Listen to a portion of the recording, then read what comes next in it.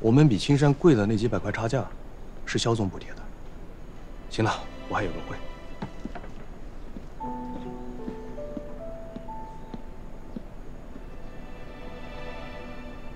花点钱，早点清空而已。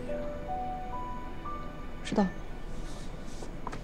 丽珍的护理没有失误，至少说明安顿的地点是合格的。孙老的心梗是偶然。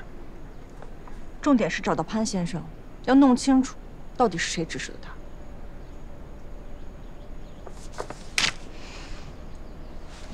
去哪儿？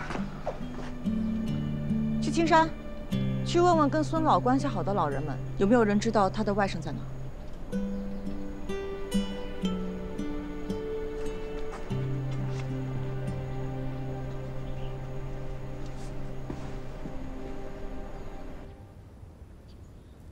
您知道他外甥住哪儿吗？不清楚啊，你找他干什么？要报复啊？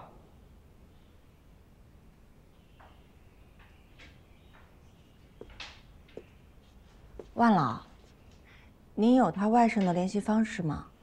没有。您再帮我好好想想。仍没有。罗老，那个，您知道孙老能去哪儿吗？孙老既然出院了，不想见你，总有他的原因吧。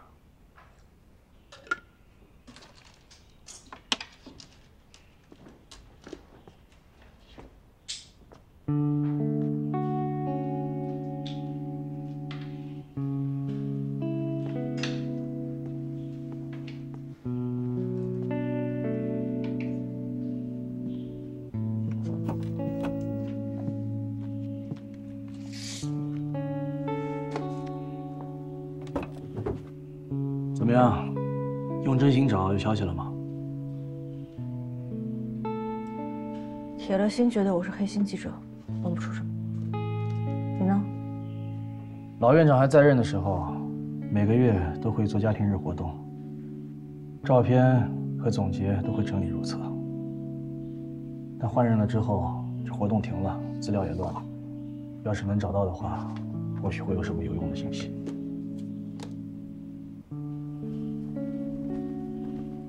不冷吗？窗都不关。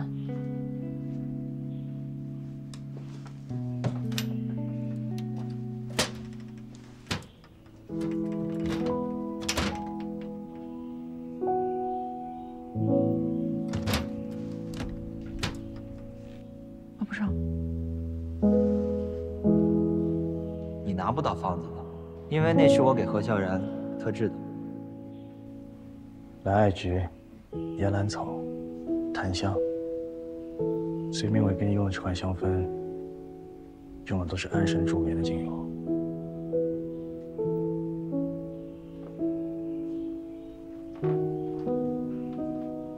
你失眠吗？我怎么不知道？怎么？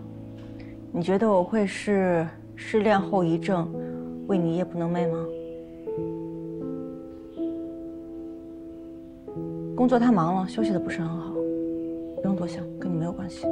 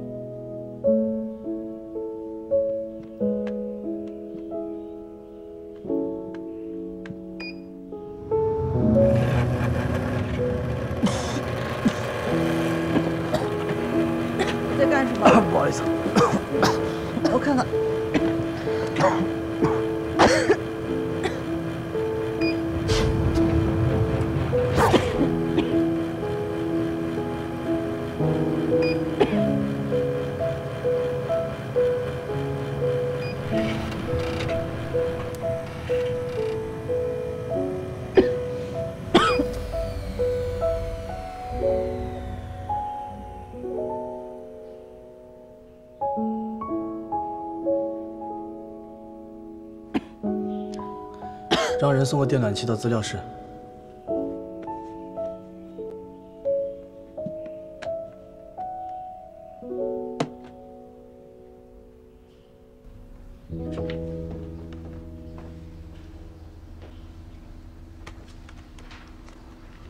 严副总，你今天心情不错哎。这谁要是事业上逢凶化吉，人也就顶多夸一句有能力；但要是一顿感情，重燃了。那简直跟看奇迹一样。人间至美啊，还得是爱。能从这堆浏览数据里得出这种感悟，我正好想找你呢，去给我准备个电暖器，送资料室去。好，我我现在就去。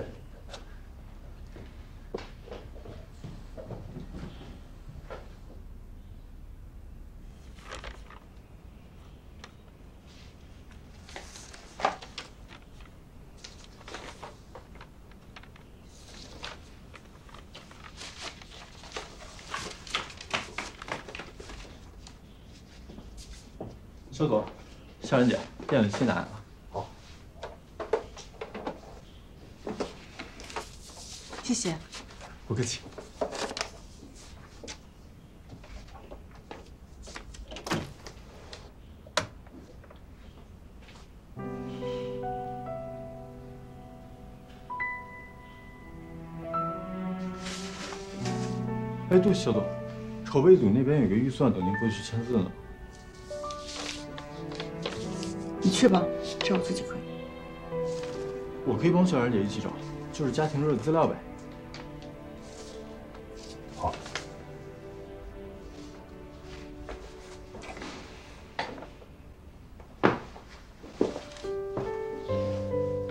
那小然姐，我找这边。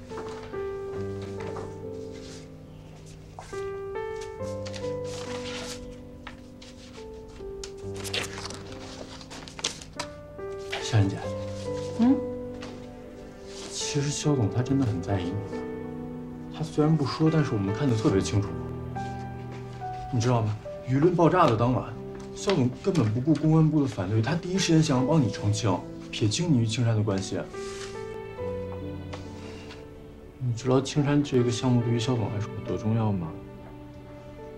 如果青山完蛋了，那季风也就没了。为什么？肖总为了筹齐重建青山的费用，把季风抵押了。最近他们开会老在说背水一战，背水一战的，现在又出了这档子事儿。肖总跟着筹备组不眠不懈的工作着。为什么要抵押？云兰不给钱吗？肖总从云兰独立出来了，具体的我也不知道。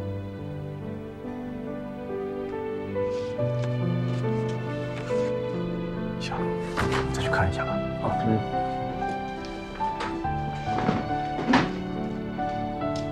你看一下啊，这个我这个啊，这个在这里。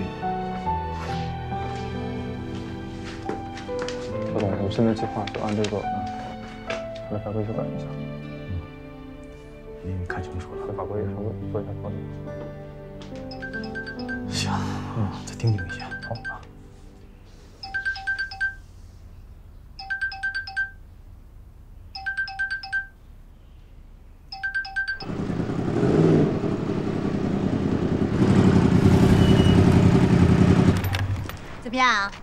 满意吗？我跟你说啊，妈妈这次可是下了血本的，加钱给你买的。据我所知，西西姐可不是那种做亏本买卖的人。这么说你妈？那你耍肖总那件事情呢？妈妈就不跟你计较了。接着说呀，后面重点呢？哎呀，这青山呢，现在是在坎上，所以啊，咱们就要雪中送炭，博好感，争取把他那个订单给他拿下来，对不对？青山被骂那么惨，你还跟他做生意？你这臭小子啊！不是我说你，妈妈平时怎么教你的？做生意要有远见嘛，走一步看十步，你怎么就不明白呢？啊啊！对，他现在啊是被逐出了家，但是东山再起是迟早的事情。如果咱们现在能够搭上他的车，以后还怕不赚钱啊？什么意思？出什么家门啊？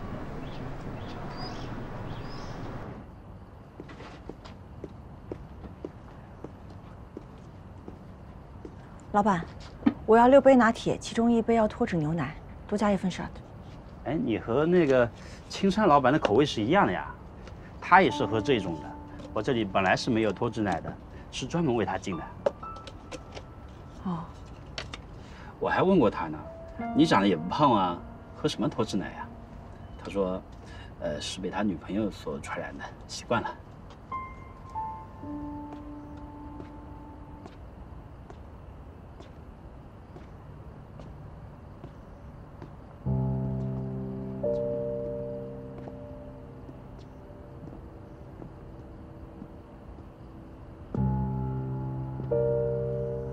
赵总有何贵干？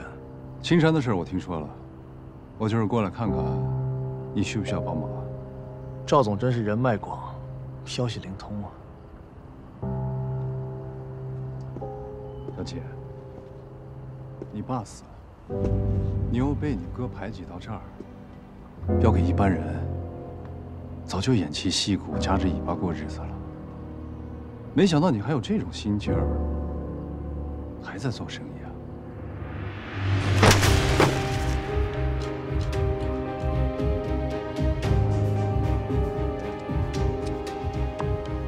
不是何记者吗？不好意思啊，牵连到你。但如果你继续在他身边的话，大概率上面，这样的误伤，应该还是会发生的。你敢？我不敢啊！我是守法公民，我敢什么？但是小七，三哥要告诉你，很多意外在发生的时候，是不会跟你打招呼的。这句话，我原话送回给你。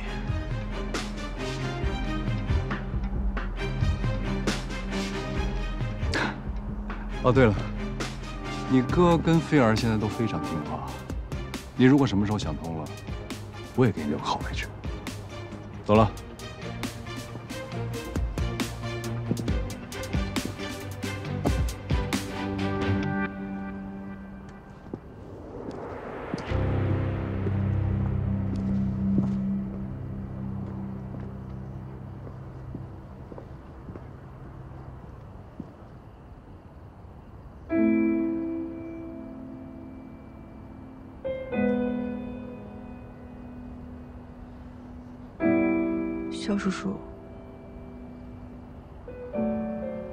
什么时候的事？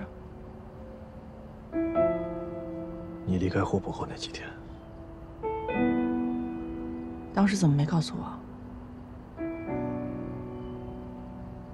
那几天，所有的事都撞在了一起。云兰、德举、葬礼，一团乱。不知道该怎么开口，就算说了，在那个时候，倒像是借口。没有人会把这种事情当做借口的。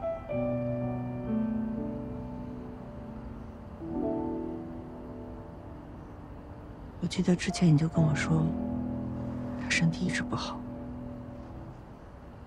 没想到他本来已经恢复好了。那一天，医生说他是急性心力衰竭，发生的很突然，没能及时抢救过来。但我知道，是赵明轩做的。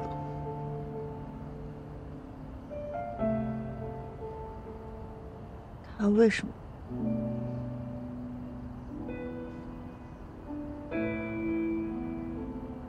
你哥他知道吗？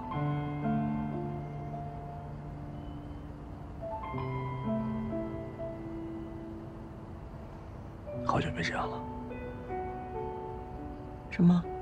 像这样心平气和的和你说话，不知不觉说了这么多，不该说的。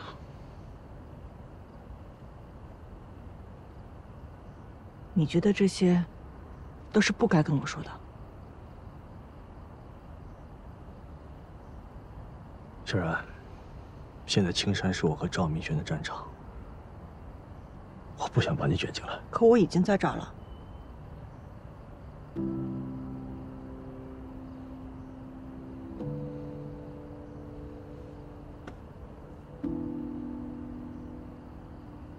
等查清真相，你就回去好好当个记者，不要再靠近这个地方了。这往后的路，只会更加不堪。腿长在我身上，我想要靠近哪儿？谁也管不着。哦，难道你不知道吗？越是不堪的地方，越是记者的监管地带。不管是你还是赵明轩，只要让我看到你们做了违法犯罪的事，我都不会手软。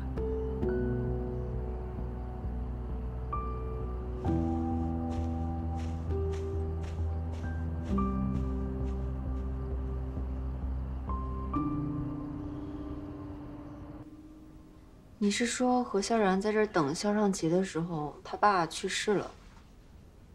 嗯。所以他不是不回来，是他回不来。都是借口，有什么回不来的呀？回不来不知道打个电话发个微信，一声不吭闷到现在算什么呀？我觉得他的世界里根本没有何萧然这人。哦，那你既然觉得不算什么，你急赤白脸跑我这儿来干什么呀？你说，既然不需要他，把他排在重要事情之外，现在为什么又回来跟他拉扯不清？哎，你说我把这个真相告诉萧然，他能坚定住他当时分手的立场？孙明伟，我早就想和你说了，你最近是不是表现的有点太明显了呀？啊，先不说真相的事情，一会儿萧然回来，你的开场白是什么？你去质问他为什么我给你打电话是肖尚奇接的吗？还是这么晚了，你去哪儿了？你是不是和他在一起啊？大哥，何萧然以前是情感主播，你藏得再深，他也不可能丝毫没有察觉。如果他现在反问你，你还要顺势告白吗？那如果他再拒绝你一次，你怎么办？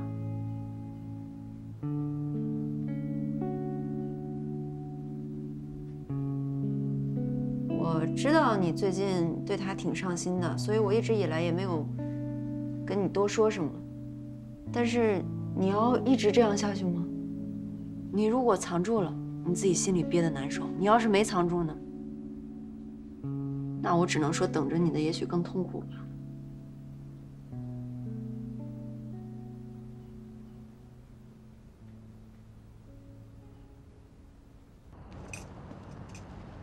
肖总，我安排了车，你是直接回家？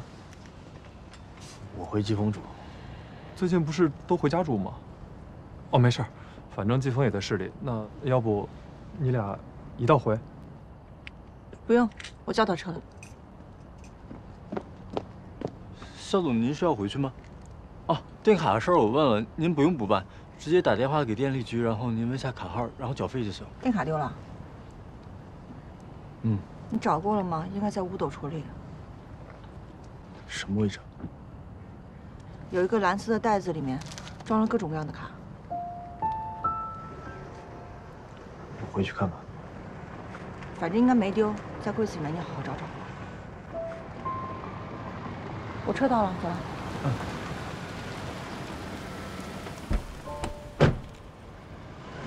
我怎么感觉你俩关系好了不少呢？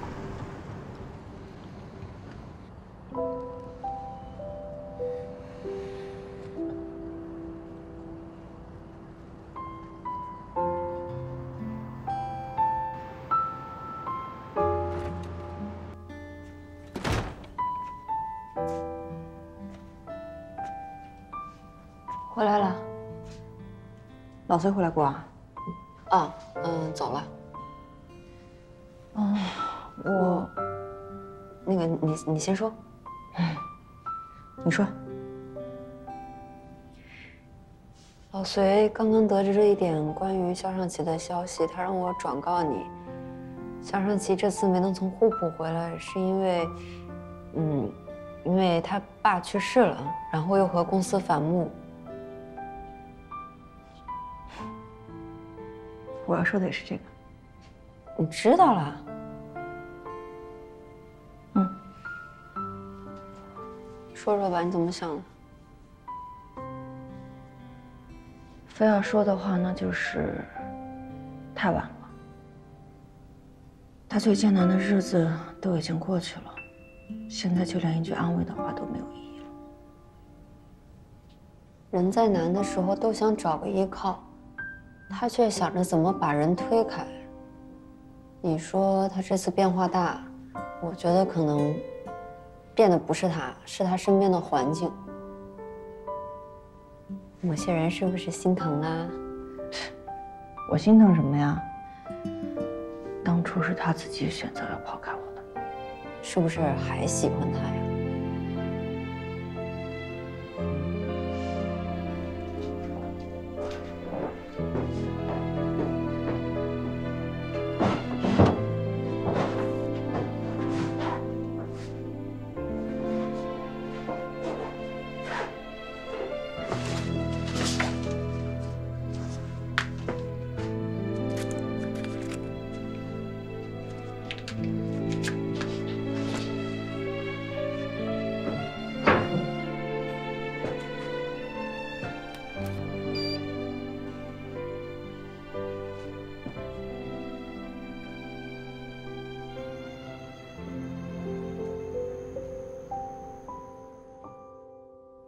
这些已经又翻过一遍了，谁的都有，就是没有孙老的。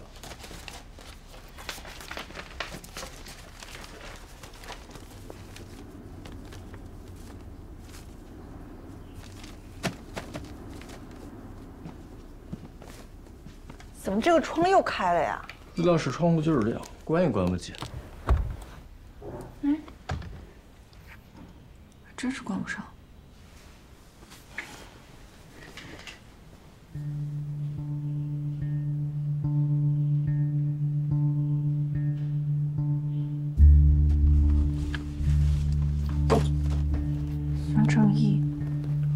就这个。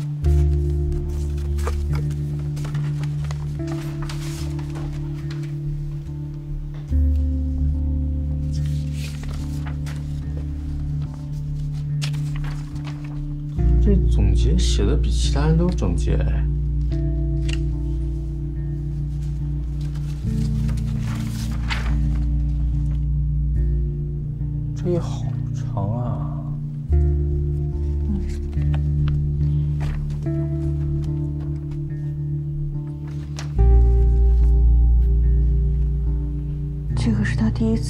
次见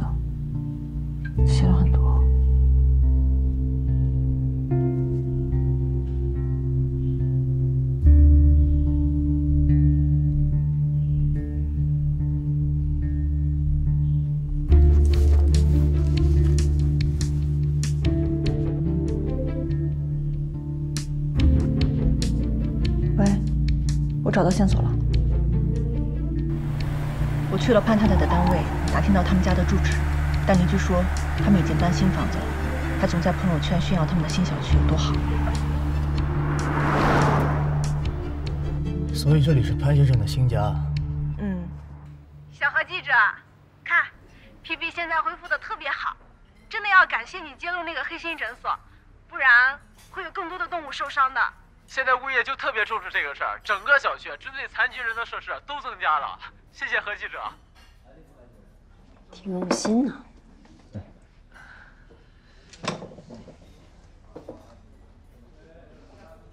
走呗，去买点芒果蛋糕。等他心烦的时候，给他吃点他喜欢吃的甜的。还有之前你跟我说那个家里那洗衣液用完了，顺便帮你补点货。那什么牌子的，还挺好闻的。哎呀打算奉献到什么时候啊？让人家喜欢上你啊？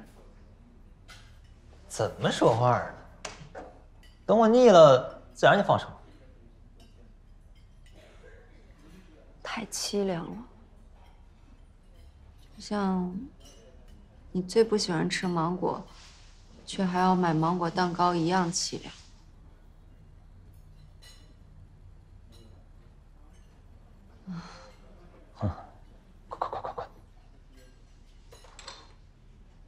吃完再去吧。你自己吃。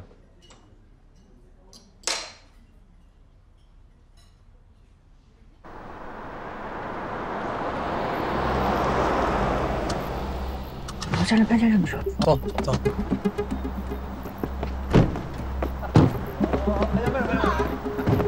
潘先生，你们怎么找到这儿来的？潘先生，我以为我们已经和解了，你为什么要造谣诽谤？什么跟什么呀？你你就收人回扣了，还有你，哎，谁知道你们是不是为了每个月节省那五百块钱的差价，就干脆把人弄死就完了啊？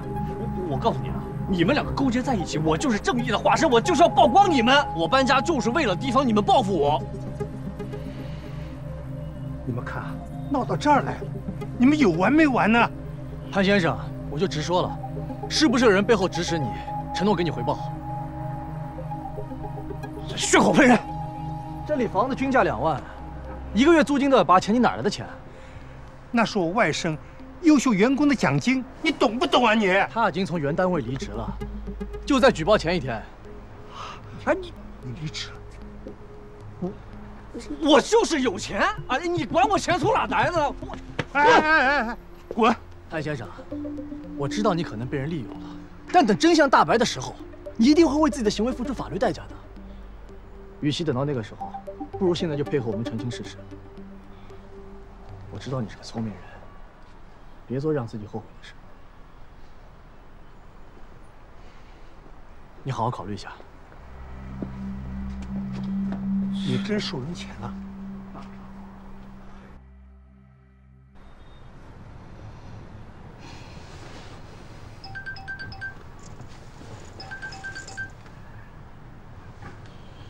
喂，哎喂，肖总，咱们遣散日不是没能开工吗？王院长说要签一个附加的免责声明。给他签吧。哎，好。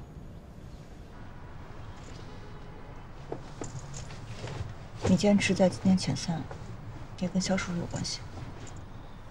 我爸去世后，留下了一个未完成的转让合同，那就是青山。里面八成的条例都已经列好了。遣散日也是他定好的。哦。那你接下青山，也是为了完成叔叔的遗愿？不止。青山原本是德聚的产业，但很快低价出手，本来就很可疑。我爸做的这么隐秘，赵明轩得到消息后，立刻跑过来大动干戈的对付我。不管是潘先生，还是王院长背后，应该都有他。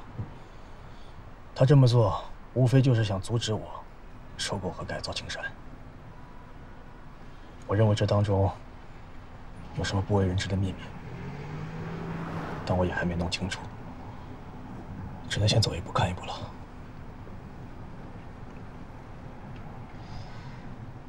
如果你第一时间就撇清青山，而不是保我。也许今天就能够按照条款完成解散。你是在关心我吗？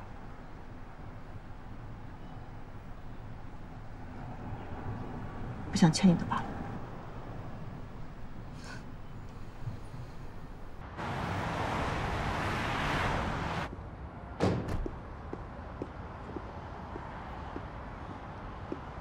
萧然。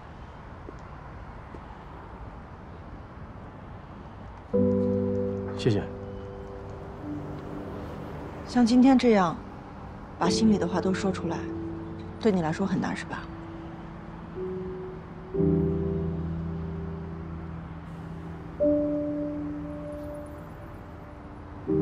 我只是在想，这样的对话如果能够来得早一些就好了。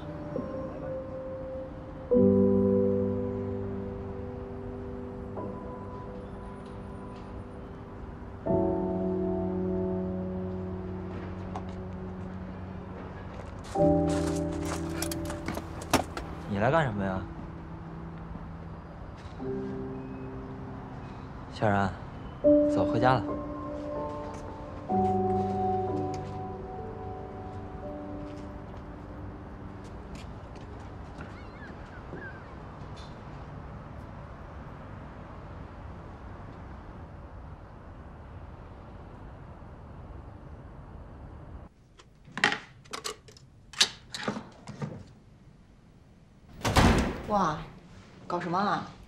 今天晚上家庭影院，看什么电影啊？大片儿。你过来坐嘛，老隋特意给你买的芒果蛋糕。哦。喂。何记者，有位姓孙的老先生找你。快点啊！快了。你说谁？青山养老院的孙老先生。啊，你让他等我一下。你去哪儿啊？你们先看，我出去一下。不是你去哪儿啊？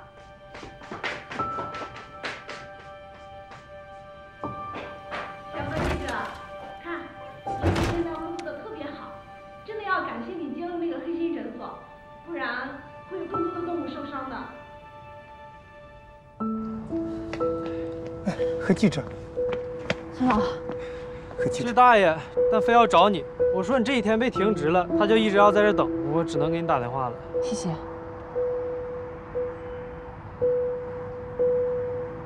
我外甥把我的手机给收了，又彻夜的搬家，我也不是没有感觉到这有事儿可能发生。可是你想，我能够离开养老院，和我的外甥住在一起，安享晚年。人在即将发生的好事面前，宁可糊涂一回，我也就什么也不说了。直到你找上门来。那现在潘先生愿意配合我们了？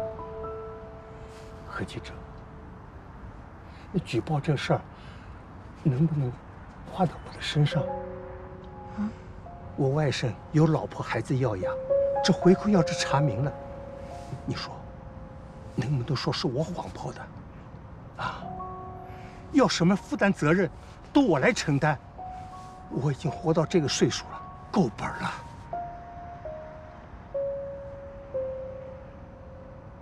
孙老，被冤枉停职的人是我，怎么现在反倒好像是你们被胁迫似的呀？你要是不同意，我就找姓肖的老板了。孙老，不是这么回事儿。您听我跟你说，真想要帮你外甥的话，求谁也没用，得靠你自己。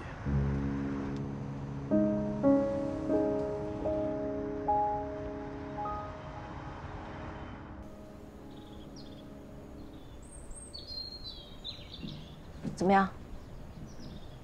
已经派人去查了。孙老偷拍了潘先生和那人的聊天记录，那个人应该就是幕后主使。肖总，我们查到了，这个人也是最开始把上媒联合传播出去的人之一。去找他们。那我通知法务部一起啊。别忘了，我们答应过孙老，等找到了真相之后，给潘先生一个机会。小然，这个人害得青山停工，他可害得你停职。要我说，对这种为了一己之私毫无底线的人，就没有必要心软。谁都会犯错啊，而且就我个人而言，我觉得他犯了错也没有你们不值得原谅。那什么样的错，才是不可原谅的？养老院商媒勾结事件有了最新进展，网红徐某为了给自己引流、制造热度，编造虚假信息污蔑新闻记者。我一开始觉得可以利用这个事情，应该会有一波传播热度。脑子一热，呃，在这里我向青山养老院以及波及到的记者诚恳的道歉，对不起。呃，我愿意后续承担一切的法律责任。这小子，道歉倒挺快的。挡箭牌而已。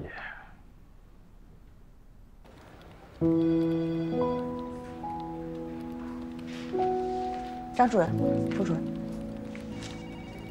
这是整件事情的情况说明。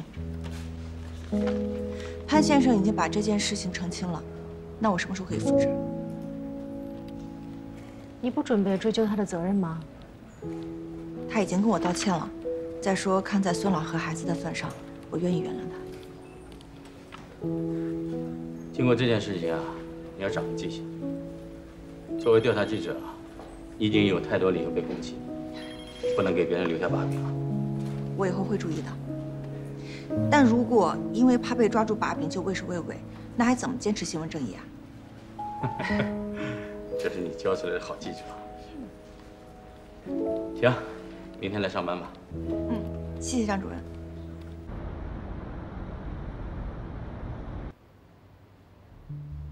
这点小事情你都能办出岔子来啊？嗯，还好我提前有准备，王院长那现在怎么说？他想多摸点钱，付他和肖尚奇的违约金，正跟我们打太极呢。打太极？那就找点人，跟他好好讲讲道理。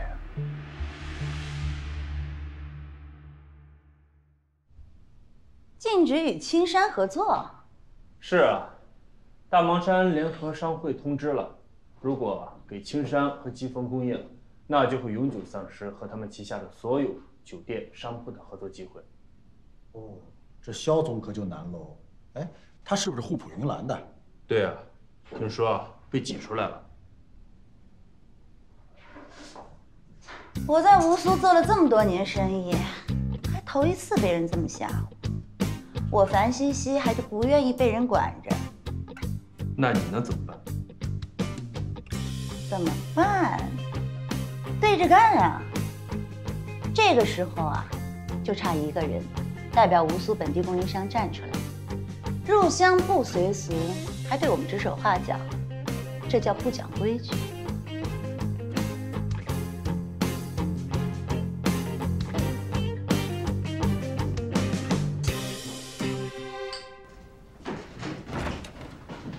哎，走吧，想好吃什么了吗？庆祝复工，今天我请客啊。省点钱，今天我们出去吃去，蹭一顿。我妈跟我说去吃大餐，我说跟你俩约了，然后她就说一块儿去呗。哦那你们去吧，咱们下次哎，一块儿去呗，真是。一块儿去呗，你不用介意的。西西姐经常请我们大吃大喝，对吧？叫我说走走走走。哎呀，没事儿，在意什么呀？都是自己人。怎么样，肖总，有看上眼的吗？这些品牌大多数是数一数二的国货品牌，它的颜值好，性能又好，最主要的是网上的评价特别棒。这个我用过，确实不错，非常符合我们的定位。那就太好了，我就说嘛，来吴苏就没有我西西姐搞不定的。那个大芒山商会弄的那些手段，我还真的就看不上了。放心，以后有什么难处啊，第一个来找我。谢谢。妈，哎，来啦！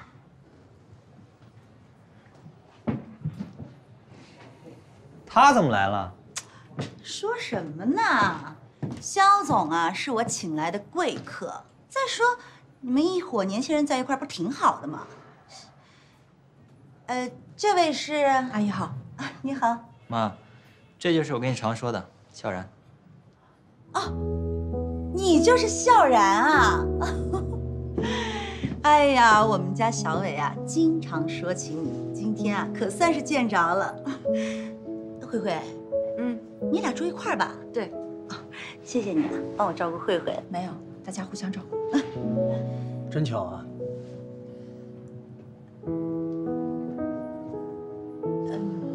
你们认识啊？很熟。我看是装熟吧。小然，那坐这儿。来，肖总，请坐。好。我呢是最喜欢和你们这些年轻人在一块儿的。小然，其实我很早就想见见你了。你是互补人吗，在这人生地不熟的，以后有什么需要尽管找我。谢谢阿姨。叫什么阿姨呀？叫我西西姐。我们都叫西西姐。乖啦。西西姐，其实不用了，我在乌苏已经住了几年了，这里都挺习惯的。哎呀，你不要跟我客气，我们家人生信条多个朋友多条路嘛。以后啊，西西姐就是你的路。来，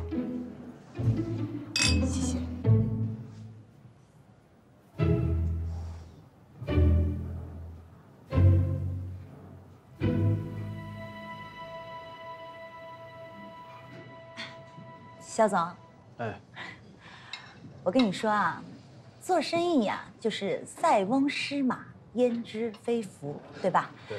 我觉得这个老牌的供应商呢，咱们可以不要他，完全可以本土化，照样可以打出一片天地。说的对。以后啊，咱们合作还要带上我儿子啊。好啊。用不着啊，我不需要。说什么呢？这孩子，我这儿子啊就是不谦虚。不过呀，在我们这个小地方，做点什么事情呢，就容易拔尖儿，人呐就容易飘。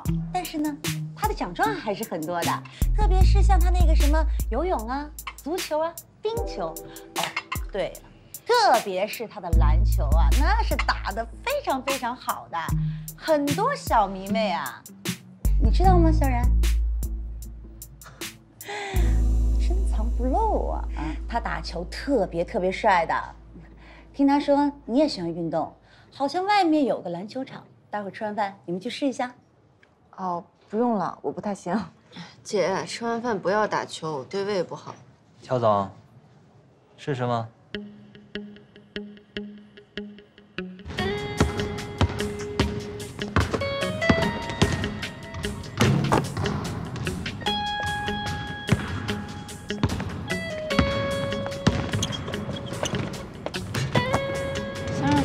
篮球呢。毕业以后就没有教他打了，今天不知道哪根筋打错了。